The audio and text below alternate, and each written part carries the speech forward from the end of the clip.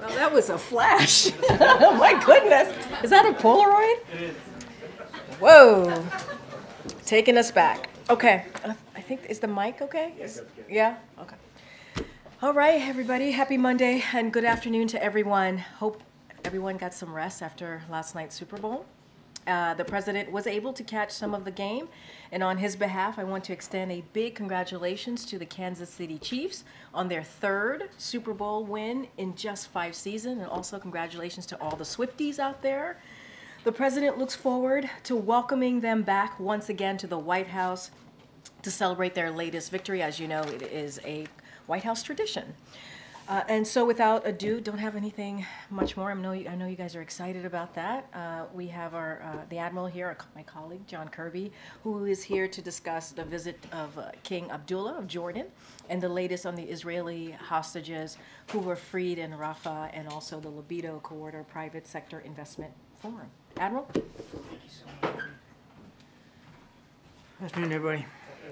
Um, as you know, President is uh, hosting King Abdullah here at the White House this afternoon. It's the 75th year of diplomatic relations between Jordan and the United States, and this meeting will help further strengthen uh, our enduring bilateral relationship. Uh, during the meeting, President Biden and the King will discuss the ongoing situation in Gaza, of course, and efforts to help produce an enduring end to this conflict.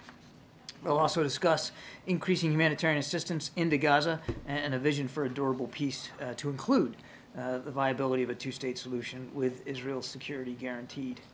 Now, before we get into questions, I just want to express how pleased we are to hear the news of two Israeli hostages freed last night by Israeli Defense Forces in, in Rafah after 128 days.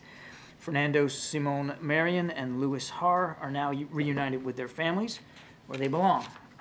That's where all the hostages belong, quite frankly. And so President Biden and his entire team is going to continue to work around the clock to ensure and to secure their release. We will spare no effort to do so and that includes capitalizing on recent progress in negotiations with our counterparts in the region, and those negotiations are ongoing. Uh, now, I've also seen reports that civilians were killed over the weekend in Rafah due to Israeli operations. I can't confirm those reports, but as we have said many times, the proper number of civilian casualties is zero. We don't want to see a single innocent civilian death, Israeli or Palestinian. But let me be clear there can be no enduring end to this crisis until Hamas releases the men and women that they are holding hostage, all of them. Their release and a prolonged humanitarian pause is also essential for bringing critical relief to in- the innocent people of Gaza who have absolutely nothing to do with the underlying conflict. And this remains our paramount objective. Now, as uh, Karine teased, just a real quick note on Africa. Last Thursday, the United States, the government of Zam- Zambia, and the Africa Finance Corporation convened the Partnership for Global Infrastructure and Investment Lobito Corridor Private Sector Investor Forum. Tried to say that 10 times uh, in Lusaka, Zambia. Uh, this was the first PGI investor forum held outside of the United States, bringing together more than 250 business and government leaders.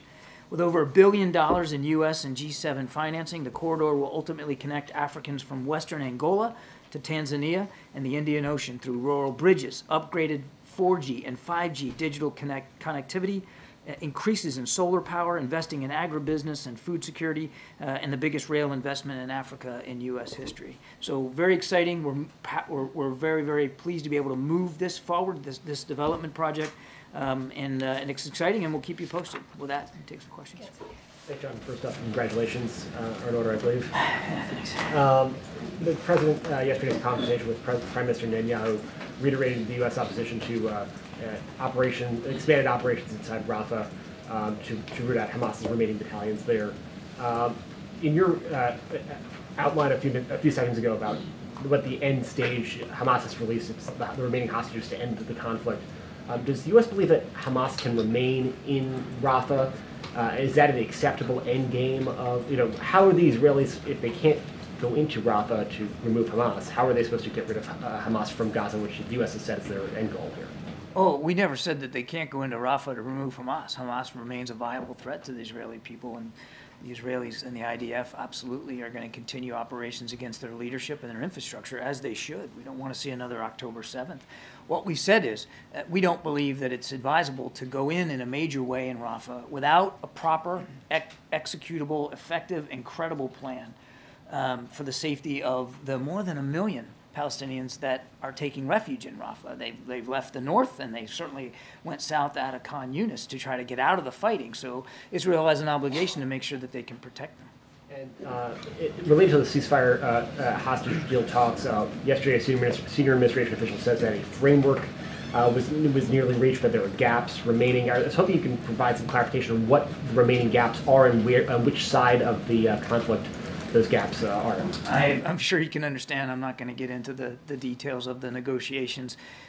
We do believe, as I've said before, that there has been constructive progress towards trying to get a deal in place for an extended pause and getting all the hostages out.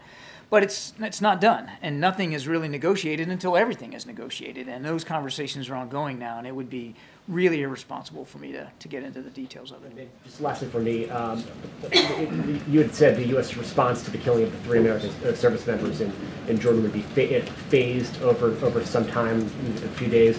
Uh, is it safe to, to say that the that the U.S. response at this point is concluded, or is it still ongoing? You have to wait and see. Thank you, uh, John. Uh, Secretary Austin is back in the hospital. Uh, We wish him well, but he's had to cancel uh, a week, uh, a trip this week to Europe uh, and another gathering of the Ukraine Contact Group, which he could attend virtually if he wanted to. First off, has the president spoken to Secretary Austin since he was hospitalized? I'm not aware of any conversation between the two of them since, uh, since this just happened yesterday. Does the president have any concerns that with his medical problems, the secretary can no longer serve? Not at all. Um, there were conversations here last week, I know, about the president saying uh, that Israel's moves into southern Gaza have been, quote, over the top. And there were suggestions that that isn't necessarily something new. But that is a slightly more direct commentary on what they may or may not end up doing than we've heard from him in the past. And we normally hear from world leaders talking about what other world leaders are up to. Is he changing his rhetoric on this given the concerns expressed by members of his party, especially those in swing state Michigan? I think the president's been pretty dang consistent almost from the very beginning, Ed, about. saying it was over the top at the Like, he's been very consistent, Ed, about uh, our concerns over uh, civilian casualties and damage to civilian infrastructure and the need for the Israeli Defense Forces to act with precision and deliberateness um, and due caution about um, taking innocent life. I mean, that is not a new position by this administration, certainly not a new position by the president. Was that what he expressed yesterday in their call? I'm not going to get beyond the readout. Uh, we, I think we, we offered you a, a pretty good summary of the things that they discussed. Thanks, Craig. John, uh, over the weekend, satellite imagery emerged that indicates that Venezuelan military assets have been moved along their border with Guyana. Do you have a comment? We've, uh, we've obviously been monitoring this closely uh, ourselves. Uh, Our assessment is that uh, whatever military movements there have been by Venezuela have been of a very, uh, of a small nature and size and scale and scope. Uh, We see no indication that there's about to be hostilities or that the Venezuelan military would be capable uh, of conducting um, any significant military activities there. Uh, We continue to urge uh, uh, uh, a a peaceful resolution to this, and obviously, we're going to continue to watch it closely. I would remind that anything that we're doing down uh, in Guyana or in that area is done pure- purely for defensive purposes. And on, uh, on Haiti, the administration is uh, convening a meeting, including the Kenyans. That's Uh, starting today, I understand Starting three today days. and tomorrow, yeah. Um, what, what's the goal of that meeting, and when would you like to see this force deployed? Well, We think there's a, a, certainly a significant need for a multinational security force of some kind down there to help protect the people of Haiti. You're right, there are discussions going on, started today, will go on uh, again uh, tomorrow over at uh, Fort McNair here in town. Um, So we're, we're glad to host them, um, look forward to uh, seeing where we can get. But the idea really is to start to set out the general parameters of what that multinational security force could look like and how it would operate. Um, It's a entry-level discussion. I have no doubt that there'll be follow-on discussions as appropriate. John, the, on the Jordanian meeting today, the Jordanians previewed the king's visit here as an effort to uh, gather support for an immediate ceasefire in Gaza. Um, The president obviously is- has been a hard no on a ceasefire. Is that going to be the position he presents to the Jordanian king today when they meet? Well, let's let the conversation happen before we get ahead of it. Uh, the, we have been very consistent that uh, we don't support a general ceasefire at this time, which is, you know, uh, uh, again, a ceasefire that would lead to um, both sides laying down arms permanently and, and, and ending the war. Now, we want to see the war end as soon as possible, and we believe uh, one of the first steps that's critical to doing that is a humanitarian pause, an extended pause that longer than what we saw back in November of a week that would allow us to get all the hostages out, get more aid and assistance in, um, and then hopefully lead to discussions that, that could get us closer to an end to the conflict. Oh, thanks, Karine. Thanks, Admiral. So President Biden had told Israel's Prime Minister Netanyahu that any potential ground invasion in Rafah should not happen without a plan to protect civilians there. Is the president confident that this message is getting through to Netanyahu? And where are these civilians supposed to go? So much of the infrastructure has already been destroyed in Gaza. He's confident that the, our Israeli counterparts understand our concerns. Uh, we've made them privately, we've made them publicly. Um, I won't speak for the Israelis or, uh, or what they may or may not do, uh, but they, uh, but they've heard loud and clear our concerns about where the civilians, that, that the civilians need to be protected. Uh, I, I can't tell you here talking, Selina, what, what that would look like, uh, but, uh, but we, we hope and expect that our Israeli counterparts will factor in the safety of those civilians uh, appropriately as they consider future operations down in Rafah. So what could that look like given the situation? I, again, I, I can't get ahead of where we are right now. That's really going to be a question for the Israeli Defense Forces. They know and they understand our concerns. And Israel's prime minister told ABC News without presenting evidence that Israel's military has killed more Hamas fighters than civilians. What is the U.S. assessment of that? Do you agree with what Netanyahu told us? We don't have an independent assessment of, of those figures. And just lastly, the White, what is the White House reaction to Trump saying he would encourage Russia to attack NATO allies if they don't contribute enough towards defense spending? What is the message that not only sends to the world, but especially to U.S. allies? Well, now you know I'm going to be careful. I can't talk about things that have been said on the campaign trail. All I can tell you is that under this particular president, President Biden, uh, as commander in chief, NATO is now more relevant, stronger, bigger than it's ever been before. Uh, and uh, he has really prioritized our, network of alliances and partnerships around the world. And of course, NATO is right at the forefront of that uh, when it comes to the security environment uh, on the continent uh, of Europe. Um, and that's what that's what the American president ought to be about. Reinforcing alliances and partnerships and sending a strong signal, particularly to NATO allies, about how seriously we take our Article 5 commitments. And you've heard from President Biden, gosh, I don't know how many times. We will defend, if needed, every inch of NATO territory. That's what the Commander in Chief of the United States ought to be saying when it comes to NATO. And just to follow up on that quickly, um, Vice President Harris is going to be in Munich with a lot of those European uh, security leaders. Is part of her duty there to reassure allies that that uh, deterrence is, is still a, a, a force here? I have no doubt that the vice president will take the opportunity while she's in Munich, not only to talk about our, uh, how this administration is pursuing our national security interests in Europe and beyond, but how important, again, uh, we consider uh, our network of alliances and, and partnerships. And, and Trevor, there's no other nation in the world, none, that has a network like the United States has because the president and the vice president, the national security team has invested so much energy in the last three years in revitalizing them. A lot of allies and partners had a lot of questions when we came into office because they didn't feel valued, they didn't feel respected, they didn't feel like the United States uh, was uh, was willing to continue to lead on on the on the world stage, and, and we've proven that we are.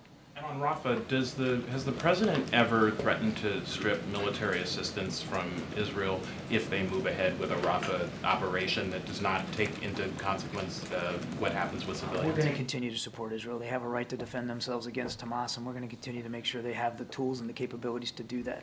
And what's the view about the role that Egypt should play there? Do they need to reopen their, do they need to open that border on their side in order to allow civilians to come through? Uh, they, Egypt has been a terrific counterpart with respect to Rafah uh, and um, and the use of that gate and allowing people that need to get out to get out. Uh, people that you know third third country nationals and, and uh, they continue to do that. They've been a terrific partner. But it is closed, right, so the average person can't. There will be, there have been, and I suspect there will be closures at times uh, based on the security environment. But um, but we're not concerned about our ability to continue to communicate with President El-Sisi about, um, about the, the proper use of that gate. But just to be clear, people are actually penned in right now, Gaza civilians who are not able to egress, right? You're talking into about Egypt. Palestinians. Palestinians I mean- who are not able to egress. So is that something that the president wants to see movement on? We don't want to see any forced relocation of people out of Gaza. The- That's home for the Palestinian people. Well, again, that's something that we, we, we have and will continue to discuss with counterparts in the region, but, but it's home to those folks. That's, Gaza's home. Um, and they shouldn't be forced to leave Gaza if they don't want to leave. Now, if there's going to be operations in Rafah or around Rafah, the Israelis have a commitment, an obligation to make sure uh, that they can provide for the safety of innocent Palestinian, the innocent, innocent Pal- Palestinian people that are there. But you're not pressuring Egypt to allow them. I- I'm not going to get into the specifics of diplomatic conversations that we're having. Uh, we wa- don't want to see any Palestinian people forced out of Gaza. That, that's their home. Um, if there are people that, that need to leave that are not Palestinians and want to leave, obviously we're working with Egypt to do that. Good. Thanks, Admiral. Um, Can you just talk to us about the feasibility of moving the entire civilian population out of Rafah? Is that even physically doable? There's a lot of folks there, uh, MJ, more than a million. Some estimates have it almost at 1.5 million. Um, that's a lot of people that move down to Rafah to get out of the fighting. And so, again, um, the, the, the task of providing for their safety at that number and in such confined spaces is difficult. There's no question about it. That's going to be a heavy lift. For any military, it would be a heavy lift. Uh, but uh, but that's the conversation that we want to keep having with our Israeli counterparts. That, that, that I don't know what it's going to look like. We can't tell you what it's going to look like. That's really for the IDF to speak to. But uh, it absolutely has to be accounted for. Think it's a, it is a realistic goal, that it is viable to try to move those people out of that area? Well, let's see what the Israeli Defense Forces come up with. And if they go ahead with the ground incursion anyway, before the civilian population can safely be moved out of that area, would there be any consequences from the U.S.? I know Trevor just asked a question about, you know, potentially stripping, you know, military support or security assistance. What would the consequence be for Israel if they went ahead and did that anyway. I don't want to get into hypotheticals on that. We've we've been very clear with our Israeli counterparts privately and publicly about what our expectations are for the treatment of the innocent people uh, that are that are down there near Rafah. Um, and we're going to continue to, as I mentioned to Trevor, we're going to continue to support Israel. They have a right and responsibility to go after Hamas. We're going to make sure that they can continue to do that. But as from the very beginning, we want to make sure that they do that in a way that fully accounts for the preservation of innocent life and civilian infrastructure. And just since the president is about to meet with a close ally that publicly supports a ceasefire in Gaza, can you just talk to us about whether the president's thinking on that has evolved at all? You know, is he a little bit closer to potentially supporting that publicly than, say, a month ago? Has his thinking on that evolved at all? We haven't changed uh, in, in terms of our desire to see an extended pause uh, so that we can get all the hostages home with their families where they belong, so we get additional security assistance in, and we can see a reduction in the violence. We are still focused on trying to get an extended humanitarian pause. I'm asking about a permanent pause. I know what you're asking. We're, what I'm saying is we support and continue to support a- an extended humanitarian pause. Thanks, Grant. Uh, Thanks, John. I- You talk, uh, I know you can't give uh, specifics about consequences, but, I mean, would the United States policy change under any circumstances? You know, You talk about an obligation to protect civilians, the president has talked about over-the-top indiscriminate bombings. Is there anything, would there be any consequences? Would the U.S. policy change, or is it support no matter what? I just won't get ahead of where we are right now, and I'm certainly not to engage hypotheticals. We want to make sure Israel can continue to defend itself. We want to make sure that humanitarian assistance continues to flow to the people of Gaza, and by no means has there been enough. There needs to be more. And we want to get all those hostages home. We believe that the best way to accomplish those three goals is to get an extended pause in place, to bring the violence down, to get people out and get aid in. And that's what we're focused on. And I, I, get, the, I get the thrust of the question. I'm just not going to engage in hypotheticals about changes in policy. concern that you can give to the Israelis to, to help protect the civilians? We have communicated, uh, again, consistently and stridently since the beginning of the conflict. I mean, since the time the president went to Tel Aviv on the 17th of October, just a week or so after the attacks, uh, how important it is that Israel knows it's going to have our support and that they do everything they can to protect innocent life. On, on another question, if I may, what, what does, what, why did the president allow his campaign, the president, uh, allow his campaign to go on TikTok despite the national uh, security review of the platform? I'd have to refer you to the campaign for But I mean, it's still the president of the United States. He's still sending, the president is sending a message to Americans about the Nash, about the safety of TikTok by doing this. I- I'd have to refer you to the campaign on that decision. Thanks, Green. Thanks, Admiral. Um, sorry to press you on this issue of, um, of Rafah, but I mean, and you say there's, you know, we're not going to talk about um, possible halting military aid. You're not going to talk about consequences. What leverage does the White House actually have uh, in terms of uh, ensuring that Israel does not launch uh, a military offensive in uh, in Rafah, uh, you know, without taking the necessary steps? Well, I don't think you're all that sorry about pressing me on this, but I'll, I'll, I'll go ahead and, that's okay, it's all right. Um, uh, I, look, it's not about leverage. It, it's about being consistent. And I've said it before, just in the last few minutes. It's about being consistent about our desire to make sure Israel can defend itself so that October 7th can't happen again, which Hamas obviously wants to do. And it's being consistent about the, need, the, how they conduct those operations matter. And we have been consistent since the very beginning in talking to the Israelis about, about the how, uh, about operations and how they're conducted. And I would tell you um, that throughout this conflict, there have been moments, and there continue to be moments, where we have the opportunity and have taken the opportunity to shape their thinking and to help influence the way they have conducted some of these operations. And that remains today. Thank you. Hi, John. Um, you referenced the release of two hostages, but also there is reports that in the process of this special operation, three hostages were killed, along with 100 Palestinians, including women and children. Also, Egypt threatened to withdraw from the Camp David agreement if Israel invaded Rafah. So how does the White House navigate this rather complex uh, picture? Yeah, I, I tried to address that in my opening statement, Nadia. Uh, we don't want to see any civilians killed one at any time, Israel, Israeli or, or Palestinian, in the conduct of operations. Um, the, the right number is, is zero. And so while we're very glad that two hostages are now back with their families where they belong, we certainly mourn any loss of innocent life uh, as a result of those operations. And it just, it just underscores I think a couple of things. One, and again, we're not, I can't validate the numbers. I, I've seen the reports, but I can't confirm them. But it does underscore two things. One, the difficulty of conducting military operations in such a closed in urban environment where there are so many people, and as we talked about earlier, even more people now in the south and Rafah than there were before. So that, that's an added difficulty for the IDF. And number two, it underscores the obligation that they have and that they know they have uh, to be careful and discriminate and, uh, and very deliberate in how they and how they go after targets. Last thing on this though, and I think it's an important point, and you didn't ask this, but it's an, uh, we we do know that Hamas uh, leadership and uh, and fighters migrated south. They got pressured in the north, so they went down to Khan Yunis. Of course, they were already in Khan Yunis, but they kind of congregated there.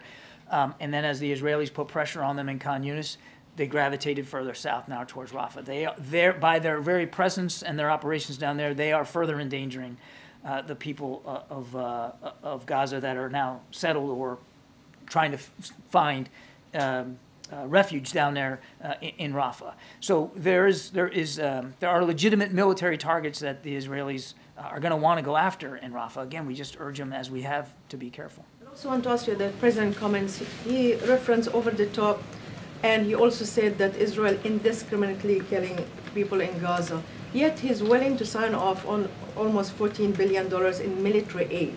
So how can you reconcile the fact that he's worried about civilian casualties without any serious review about how U.S. weapons are used in a civilian area? Well, I think you know, we uh, uh, just last week, um, late in the week, uh, we issued a national security memorandum that um, that codifies existing policies and adds reporting requirements onto those existing policies about our expectations for how military assistance is going to be provided to any foreign actor, and of course that includes Israel.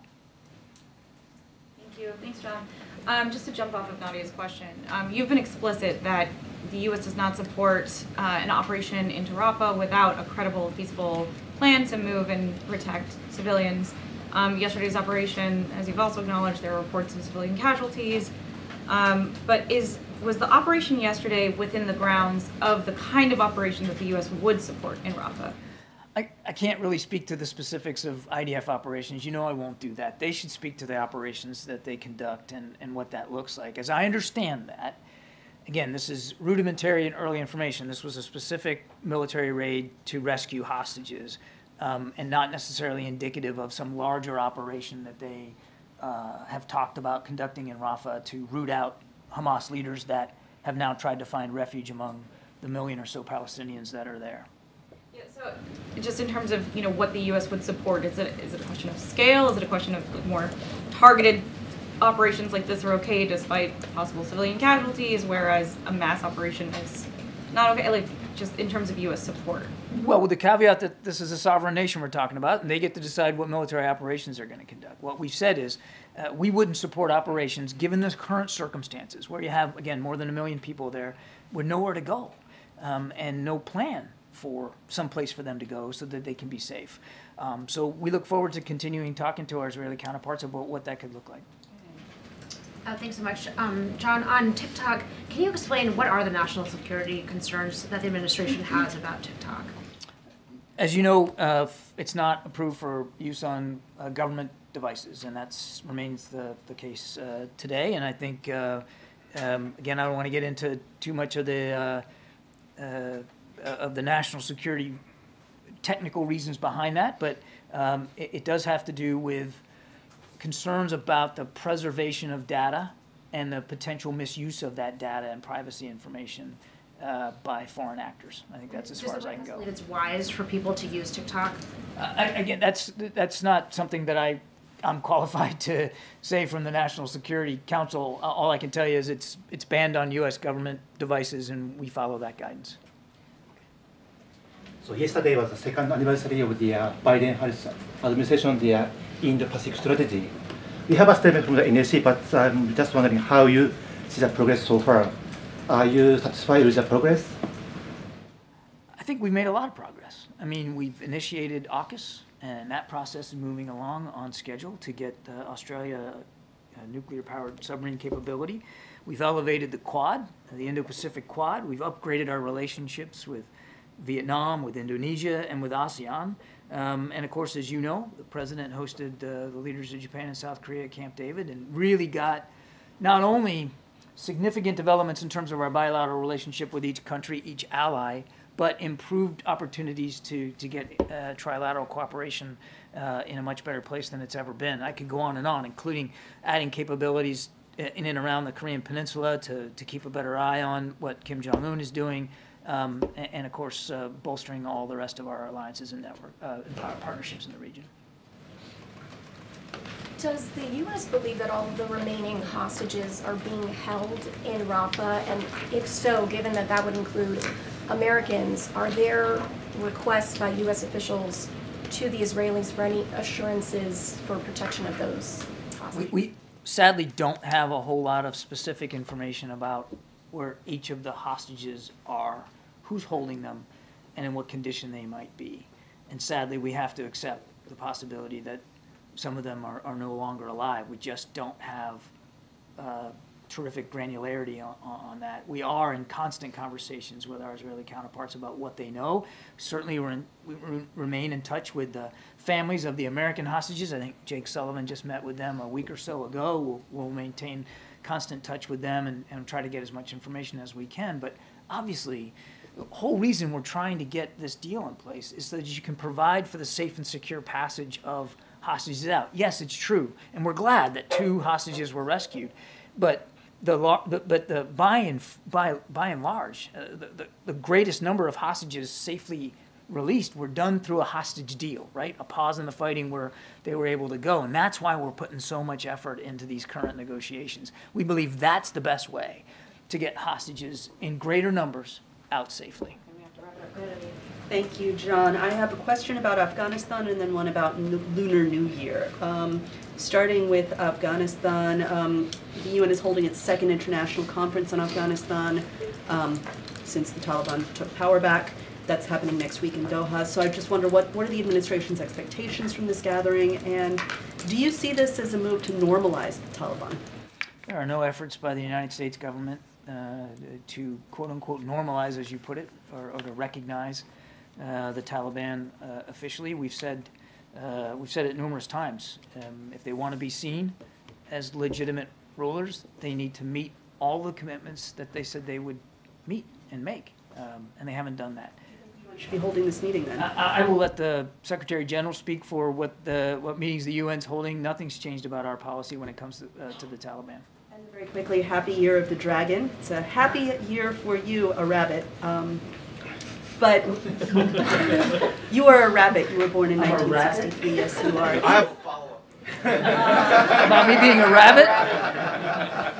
All right, thank you. I did not know that, but I appreciate that very much. He's a horse. What is the, it's supposed to be a prosperous year for him. What is the president's message for the 20 million Asian Americans who celebrated this, this holiday over the weekend? He hasn't issued a message. What is this message? We have actually, I think, put something out on social media uh, about the, the Lunar New Year, and of course, we're wishing everybody who observes the Lunar New Year uh, a happy one and a prosperous one, even the even the rabbits. Yes. Uh, Admiral, I wanted to clarify the position on TikTok. So the administration still has concerns, uh, security concerns about TikTok, even though the campaign has now joined it. Again, I cannot speak, w- nor will I speak for the campaign. I, I can't do that or their decisions. Nothing's changed about the national security concerns uh, from the, the NSC's perspective about the use of TikTok on government devices. That policy is still in place. But surely there must have been some conversation between the White House here and the campaign on whether it was appropriate for the campaign to, to use it. I can't speak to that. Jackie, last one. Thank you, Karine. Um, John, just following up on this TikTok stuff, is, is the CFIUS review still happening? I'd have to refer you to CFIUS. I'm not in a position to confirm one way or another um, what they're, what they're looking at. So is the administration still weighing a ban on TikTok? Again, I have nothing for you on that, Jackie. I mean, uh, I'd have to refer you to, to CFIUS. All I can speak to credibly, which I have today, is that from an NSC perspective, there are still national security concerns about the use of TikTok on government devices, and there's been no change to our policy not to allow that. Can you help me understand though, like why, why there wouldn't be any communication between CFIUS and the administration broadly, I mean, with the National Security Council? I I didn't say there, I didn't say there wasn't, I just said I'm not able to speak to uh, issues regarding CFIUS. You'd have to talk to them. It's an independent body, and, and it's not something, I, I can't speak for them. We're all just trying to square why the president would use this platform that his administration is weighing a national ban on because of national security concerns. Again, I'm not going to speak to any hypothetical ban. I can only tell you that it's not allowed on government devices. That policy remains the case, and I just can't speak for the campaign or their decisions. I Thanks. apologize. Thank you so much, Admiral. Thank you. All right. Uh, Go ahead, Zeke. It's great. Just to, another round of that TikTok question. Are- Are you aware of any communication between the Biden campaign and anyone who works in the White House about the president uh, joining TikTok? Look, I, I, I can't speak to uh, any conversations on, on specifically on TikTok. Uh, we got to be really careful. The campaign 2024 can't. No, no, hold on, hold on, hold on. Uh, so we're not going to comment on any specifics, and so certainly we would defer to the campaign on any strategy. The CFIUS process uh, is separate and not going to get ahead of, of what uh, we're going to say here. Um, and I would say that the administration uh, is on record for um, uh, for supporting the Restrict Act, as you all know, uh, something that came up last year, and it's a bipartisan bill, and it is t- indeed tailored uh, and risk-based uh, approach so we can protect Americans' freedom of speech, and that's what matters. Uh, as you know, as you know, there are um, uh, folks here who are commissioned uh, officers who certain people are allowed to have conversation uh, with the campaign, but I can't speak to uh, any specific conversations that are happening ha- happening about this particular issue. Again, it's under CFIUS review. We want to be really mindful and not getting ahead of that. And also, it's the campaign, so that is something that they would have to have to speak to. And the reason why it is banned on government uh, government uh, phones or uh, government properties, obviously devices, is because that is an act of Congress. Uh, that is something that Congress wanted to uh, put forward to make sure that no government uh, government um, uh, devices uh, are used. Were you aware uh, before the before the campaign posted that TikTok? Okay. No, I am, I am very, very careful as the White House press secretary. I have to, I, I'm in a different, uh, kind of in a different box than most. And so I do not communicate with the campaign on any strategy or, or anything like that. Uh, and so uh, I'm just very, very mindful of that. I did not know, I, I knew as, as, as, as you all did. A few follow-up from the special counsel's report last week. Um, uh, the, when uh, Ian Sams was here on uh, Friday, um, he said the White House was considering uh, releasing the transcript of the president's conference, uh, interview with the special counsel, which you all have objected to that characterization of that. Do you have an update on that review process? So look, um, uh, certainly I'm going to refer you to um, the, my colleagues at the White House Counsel. I know the president's personal attorney obviously spoke to this uh, on one of the uh, Sunday shows yesterday. Uh, so I know they're they're been responsive. Uh, the team here have been responsive to uh, those specific questions. I just don't have anything to share.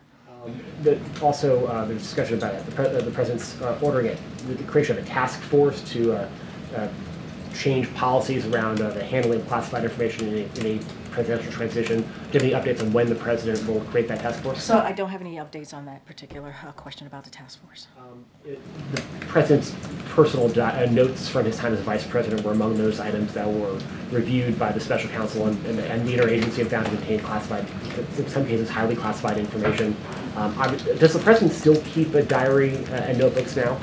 Look, uh, that particular question, obviously, the White House counsel would be able to speak to more directly, but I do want to remind everyone that this was a 15-month investigation, and I think the outcome of that investigation, obviously, as it's stated, is that uh, counsel, uh, the special counsel has not found any, nothing to prosecute, and I think that's important to note. Uh, And I, anything beyond that, any specific questions about diary or anything like that, I would have to refer you to the White House counsel. Lastly, uh, when the president hosts the king later, uh, they're going to be making statements. Why isn't the president, and given all these questions about uh, uh, special counsel and otherwise, why isn't he taking questions? I mean, look, let, let's be clear. Uh, the day that the special counsel report came out, the president came out in the evening and took uh, and made a statement and took questions. He wanted to make sure that you all heard from him directly, uh, and so I want to be really. Let's not forget that that did occur on the day that the report came out. Uh, look, the president is is looking forward to welcoming the king, King Abdullah, to the to the White House. Uh, he comes here every year, as you all know. During his presidency, and so he looks uh, certainly forward to welcoming the king. So, that said, and I said this last week, and I'll just reiterate, there are a variety uh, of factors that go into decision making, that go into uh, uh, press, if there is going to be a press conference or not during foreign uh, foreign leaders. It's it depends on those uh, those conversations that we have with the foreign leaders and how that works out. Look, you're going to hear from the president. You're going to hear from the king uh, later later today around four o'clock. I think that's important. You hear directly from them. Uh, there's just not a press press conference component to this. Not every trip, uh, not every visit uh, with a foreign leader uh, has a press conference component. Uh, as I stated, King Abdullah has been here almost every year during this president's uh, tenure, and they, that has not been the case. A two plus two has not been the case. I want to follow up on that real quick because uh, you mentioned that, uh, that on Friday, the German chancellor gave a press conference across the street in Lafayette Park. It seems the White House here is the roadblock. Uh, look, I, that is something for the German chancellor to speak to as to their government, why they chose to do that. I can't speak to that. Every there is there are two obviously when when a foreign leader comes, there are two governments that have this discussion. They go through the process of what they want that trip to look like when they're here at the White House, and there are diff- different varying uh, uh, various factors that play into that. And so every trip is different. Every trip is different.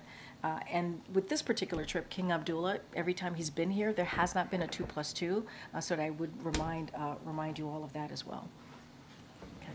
Thanks, Karine. A new ABC News Ipsos poll shows that 86% of Americans think Biden is too old to serve another term. That is a higher percentage than what we found in a previous poll in September. So clearly polling shows this is a persistent issue.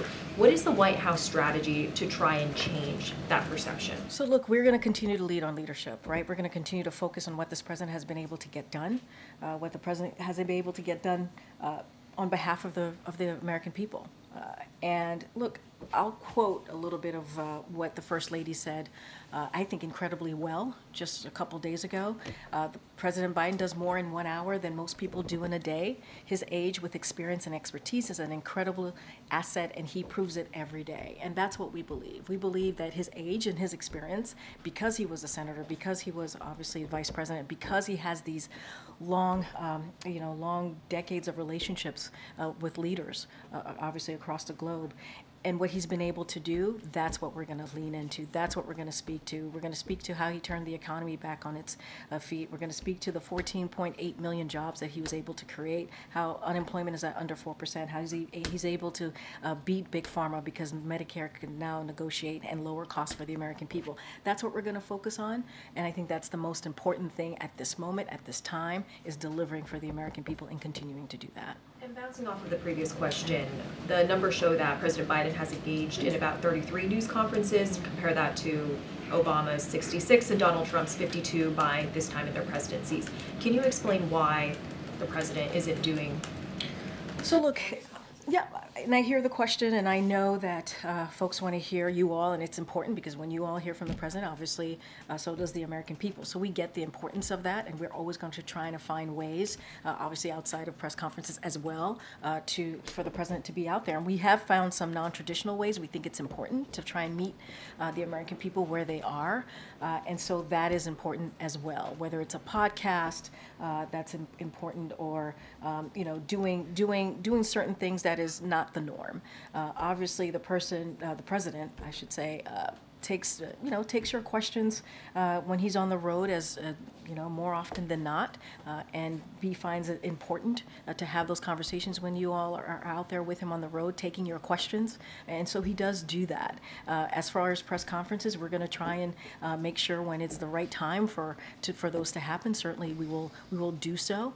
But it doesn't mean that this president does not engage with with the press corps with the White, White House press corps or with other reporters uh, journalists out there who have different, uh, different ways with communicating with the American people as well. We think that's important too. But why is it more effective to forego a Super Bowl interview and then instead? Look, we've talked about this. We've talked about this. We've believed that it is an important, uh, obviously, tradition uh, uh, to, to watch the Super Bowl. And we think there are different ways to communicate with the American people. And we're going to try and find different ways to meet the American people where they are.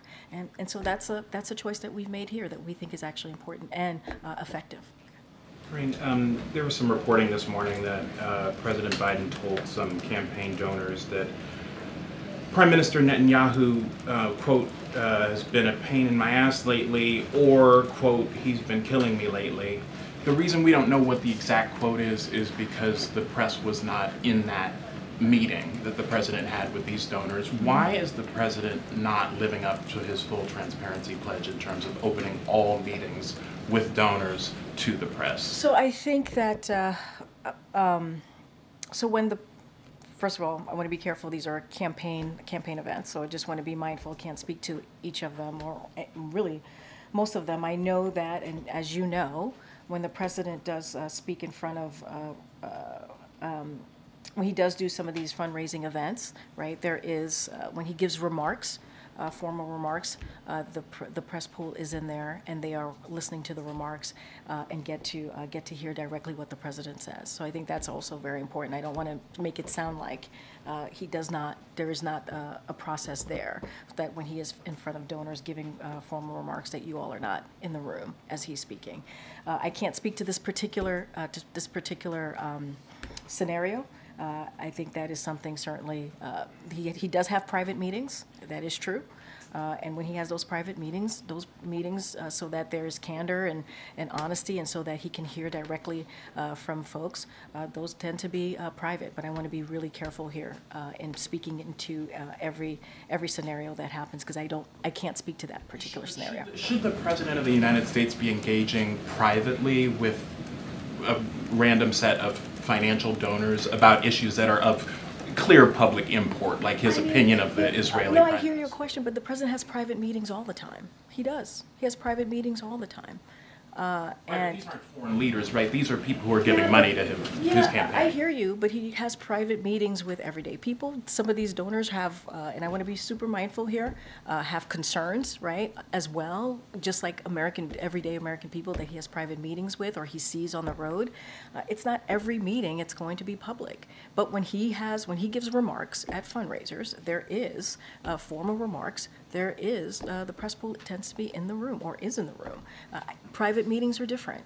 And so that's the way it's been uh, for the, you know, for, uh, for the past three years under this, this administration. Look, I want to be really careful. These are campaign, obviously, some of them campaign DNC-related uh, meetings, so I just want to be super, super mindful here. And what's the distinction between formal and informal remarks? Look, I would honestly, I'm going to refer you on anything that's related to these uh, specific meetings. I would refer you to the campaign because they're the ones that put it together. They're the ones that uh, bring the folks in the room. I just want to be super mindful and not go down uh, too far, too far a rabbit hole here.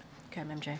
Karine, um, any updates on when the president's physical might be taking place? So he will have a physical uh, when we uh, when we have uh, information on that. So obviously, we will uh, certainly share that with all of you. It will be transparent. There will be a uh, a, a comprehensive uh, report as we have done the last two years. Just don't have a just don't have a timeline for you.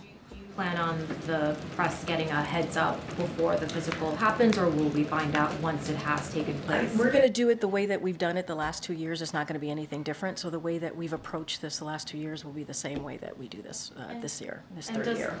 Does the White House think that the, the idea of the president taking a cognition test, a cognitive test, as a part of this uh, physical is a legitimate idea, particularly just on the heels of the special counsel report, more polling, as my colleague Selina just mentioned, showing that many American people have concerns about that? Look, I got this question last week as well, and I'm just going to say what the what uh, Dr. O'Connor. It's kind of a uh, what he said to me about a year ago uh, when the report came out last year, uh, obviously on his physical, uh, which is the president proves every day how he operates, how he thinks, right? But by dealing with world leaders, by making really difficult decisions on behalf of the, the American people, whether it's domestic, whether it's national security. And so he shows it every day on how he thinks, how he operates. Uh, and so that is how, uh, that is how the, Dr. O'Connor sees it, and that's how I'm going to leave it. What do you think about the idea of taking that kind of a test? I mean, look, uh, and I talked about this last week too, on, on I believe, whenever, on Friday. Uh, I have known this president since 2009. Uh, I, he is not just uh, my, my boss, you know, he's also some, a mentor to me. And I spent sometimes countless hours with him, whether it's in the Oval Office, uh, whether it's on the road. And I believe for me, you're asking me my personal opinion, uh, he is sharp. Uh, he is on top of things. He, when we have uh, meetings with him, with his staff, he's constantly pushing us, getting, trying to get more information. And so that has been my experience with this president. Uh, anything else outside of that, uh, I just shared with you what Dr. O'Connor said to me, uh, and so I'll just leave it there. Thanks, Karine. No, you're not going to comment on the campaign or its decisions, but does the White House believe that TikTok is giving Americans, especially younger Americans, false perceptions about President Biden and his broader agenda?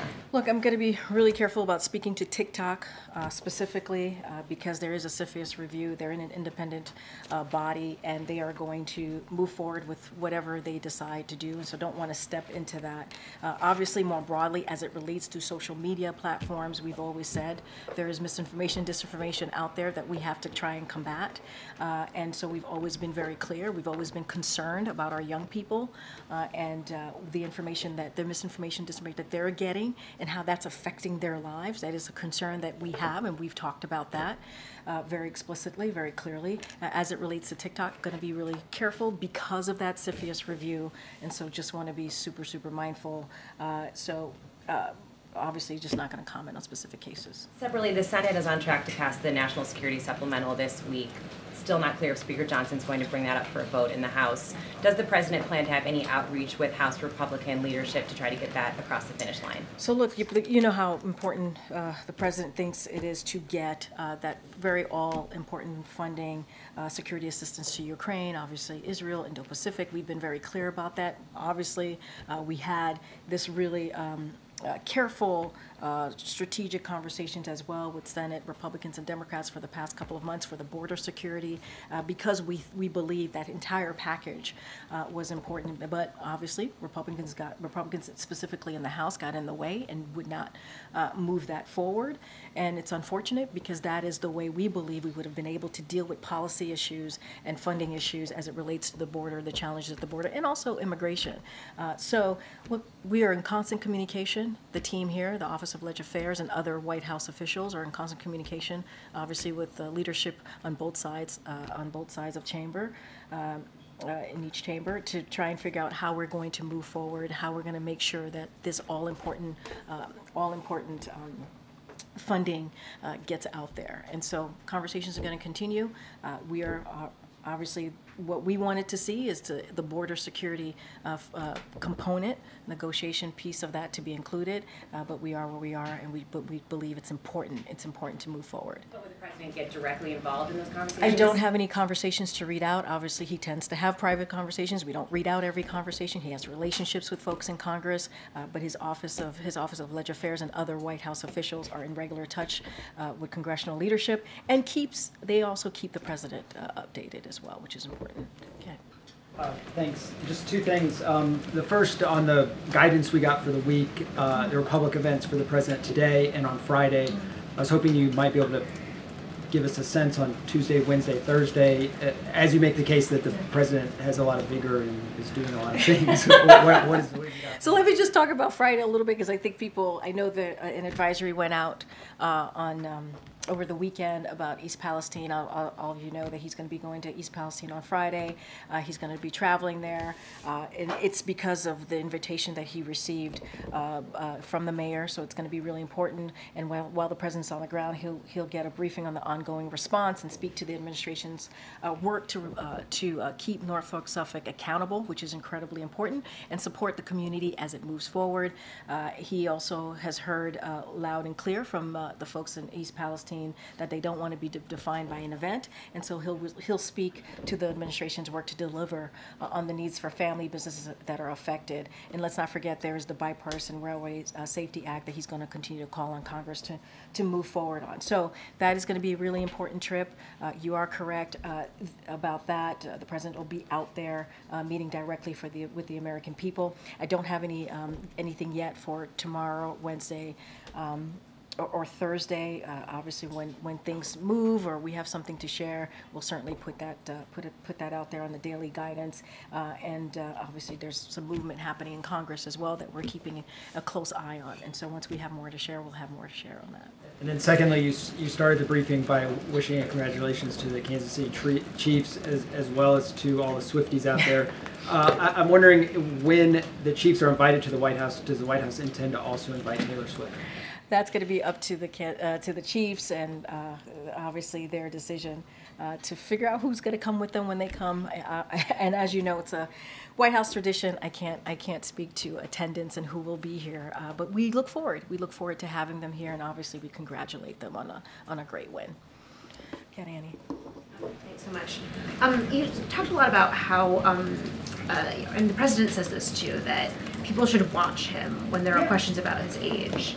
Um, and then, and the issue seems to be that they are watching him in public events and in some press conferences, and are, are coming to this conclusion, many of them, that he's he's too old. So what I'm wondering is, is he behaving differently behind closed doors? Because we don't get to see that at all. And are you do you see and when you interact with him privately, is there kind of a different sort of level of vigor that is perhaps you know not as visible when we're all seeing him So like, let me just first say, and I was on the swing with him recently, right? He went to Wisconsin, he went to Michigan, he went to California, he went to Vegas, uh, and he's going to go to Ohio later this week.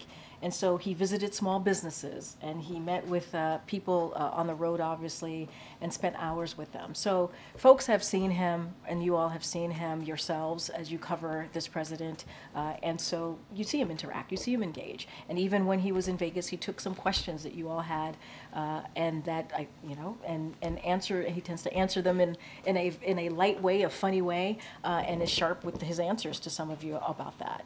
And so, look, and he's also meeting with world leaders. He did that with the German chancellor. He's obviously going to do this uh, today with uh, King Abdu- Abdullah. And I spoke already about my experience with him. And just to answer your question, I've spent countless hours with this president, whether in the Oval Office uh, or uh, on the road.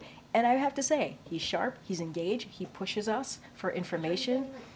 emails at like two o'clock in the morning, or you know, is there any sort of like? I mean, look, I think it, sort of put, like a finer point on what it is exactly that like you see that somehow isn't you know coming across to the rest of the American people. Look, I think the fact that when he meets with his t- his team, when he meets with staff, uh, he is, as I said, incredibly engaged. Uh, as I said, very sharp, and ask us qu- back and forth. We go back and forth on whatever inf- information, whatever is, is maybe the news of the day that's on that's uh, that's on his mind, uh, and it happens very often. And so that's my experience with him. But you all see him on the road. I mean, you know, he was uh, when we were in Vegas. He was asked about, uh, you know, about uh, he was asked a specific question about um, uh, the former president, and he answered that in a in a fun, sharp, you know, kind of way, and and that's him. That is him. What you see there is him. And so, look, uh, I think, and I do want to step back for a second because I think what's so very important too is this president's record in the last three years and what he's been able to get done, and that matters. And that matters. And so, yes, we're going to continue to be out there. Uh, the president's going to continue to do everything that he can to speak directly to the American people, and we believe that is what's important here. Getting that work done, continuing to move forward in a in a in an impressive um, record of the, in the last three years, especially for any modern president, uh, whether it's dealing with infrastructure, whether it's dealing with uh, beating big pharma, uh, whether it's getting the eco- economy back on its feet. All of these things are important. Let's not forget what's going on outside of this country, what's going on in Ukraine, what's going on in the Middle East. Uh, this is something that the president has been able to do in a pretty effective way. And then just to follow up quickly on Matt's question, um, when um, Super Bowl teams are invited to the White House, do they typically have a plus one? Actually, that's a good question. I uh, I can't answer that uh, right now. But look, we we are looking forward to having them here, uh, the Chiefs, and they uh, it was a it was a great it was a great uh, a, a great win, and just like we do in every, uh, every this is a White House tradition to have uh, the the winners of the Super Bowl here, and uh, so we're looking forward to it. Okay, I haven't called any yet. Okay. Is the White House doing anything to move uh, the stalled child and biz tax bill in the Senate? Say that one more time. Is White House doing anything to move forward the stalled child and biz tax bill in the Senate? So, as you know, uh, the, pr- the president supports that bipartisan, uh, bipartisan legislation. We've talked about it uh, in here before. Uh, There's always conversations that we're having with congressional uh, leadership and staff on important, uh, obviously important piece of legislation that matters to the American people. Uh, I don't have anything to read out, uh, but obviously we're in support of that particular legislation. Okay. Yeah, thanks. Uh, shrinkflation and the president's video um, from this weekend in inflation. So, uh, thanks, Karine, by the way. The, um, Yeah, sure. The president is, is blaming companies again now, it seems, for inflation. And based on his policies, though, does the president accept any responsibility for where prices are since he came into office? So a couple of things. Look, uh, we understand how grocery uh, how grocery prices are a major concern for hardworking families. We get it. We get that that, that there are uh, st- the prices are still uh, you know kind of uh, kind of hurting uh, Americans. But what we've seen is that prices have gone down for eggs, for milk, uh, for seafood, and that's important. They they're lower than they were a year ago, and we know that's not enough. And so what we the president has continued continuously done, and you see this in this video that you're speaking of, he's called on large corporations to pass their savings onto hard uh, hardworking Americans. That's what we're doing, and I think that's important that this pres- president sees that. And then in shrinkflation, for so for folks who are watching doesn't quite know what that is, what we're seeing is the size of a product gets smaller even as the prices stays the same, and that shouldn't be. And so the president's going to call that, and it's uh, you know, and what you're you're seeing it's giving families less of less for their bang, uh, for their buck, if you think about that. And so the president has said, and I quote, he's tired of being he's tired of seeing the American people uh, being played for suckers, and that is something he's not going to allow. Uh, but as it relates to um, as it relates to what the president's going to continue to do. He's going to continue to lower, uh, do everything that he can to lower costs for the American people, and you've seen him do that. And on, on his uh, doctor, when can we talk to the president's doctor, and how come he hasn't been, or they haven't been asked to come out here and talk with us, given the, the Hur report that challenges the president's mental fitness? So look, uh, you know, just to speak to uh, the Hur report really, really quickly. Uh, Special Counsel Hur is, is, as far as I remember, is a is a uh, obviously a, Rep- a Republican, a a a, uh, a prosecutor. He's not a, he's not a medical doctor. He's just not. It's not for him to speak to. It's just not. And, uh, and you've heard from, uh, over, over the past couple of days since the report has been out, uh, you've heard from legal experts from across the ideological spectrum, even uh, in, uh, former Attorney General. And he says, and they have come out to say that the stuff in this report uh, that is capturing all of your attention right now is just wrong. is flatly wrong. It is inappropriate. It is gratuitous. And so going to leave that there, and it is uh, obviously up for uh, a medical doctor to decide on that. But look, I have said the pres, the, the medical doctor, the, the president's doctor is going to do a physical. He's going to, and he has always put forth in the last two years a detailed, uh, detailed memo on the president's, uh, on the president's, uh, uh, obviously, uh, uh, uh, medical, uh, physical. And so I'm just going to leave it there. I don't have anything else to add. Go ahead, Jared. Curious uh, to sort of follow up and, and get some clarity. If these transcripts were released, who makes that? dec- Is that the counsel's office? I Is it don't the have president? anything else to share. That's something that the councils could speak to. They've been uh, answering those questions for the past couple of days. They have to speak to that. Has President Biden expressed the desire to have the full You have to transcripts talk- released? You have to speak to the council. They've been answering these questions for the past couple of days of incoming on these partic, on this particular question on the transcript. They have to speak to that. Very good, Brian. Uh, Thanks a lot. As you know, at the beginning of March, funding for the government runs out. What's the president been doing to avoid a government shutdown and um, make sure that the uh, funding is going to be there at the beginning of March to fund important programs like WIC and SNAP? Yeah. The president thinks that those programs should be funded. The president thinks that Congress should do their jobs and do the basic part of their jobs and fund that. Fund these incredible, incredibly important programs that the American family uh, uh, believe in or need just to survive. And so that's what the president wants to see Congress get to it, do their job, and make sure that the government does not shut down. He did his job. The president did his job a couple months ago, back in the spring of actually last year, not even a couple months ago, and brokered a deal, brokered a deal with Congress, both the House and the Senate. Uh, to get a bipartisan deal forward to make sure that this is during the deficit, remember, uh, and uh, and the debt ceiling, and so he brokered that deal. It became law because two thirds of the House Republicans voted for it. It got a bipartisan support in the Senate, and that was the deal that he brokered. Now Congress needs to get there to get this done. Has he designated a negotiating team that he wants involved I in the mean, White we, House? on we negotiated on this, Brian. We did. We negotiated on this. Two thirds of House Republicans voted for it, a bipartisan support from the Senate, and Congress should do their basic job, which is keep uh, keep keep the government open and make sure these very important uh, important uh, programs that you just listed out gets funded. All right, guys. We'll see you tomorrow. Thanks. Thanks.